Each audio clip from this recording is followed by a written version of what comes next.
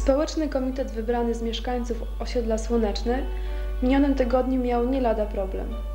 Do wykonania magistrali i podłączenia budynków złożyły oferty dwie firmy. Firma handlowo-usługowa SAT Plus z Wolsztyna i Zakład Montażu Instalacji Anten pana Szczepańskiego. Projektowana magistrala docelowo ma zasilać osiedle słoneczne w ilości 800 mieszkańców i przygotowana będzie do podłączenia także bloków mleczarskich. Przetarg wygrał pan Szczepański, który montował cały, całą instalację na naszym osiedlu. Ustalono cenę od jednego gniazda na około 950 tysięcy złotych. Wpłata tej sumy ma nastąpić w dwóch ratach. Termin realizacji tej inwestycji został wyznaczony na 10 stycznia.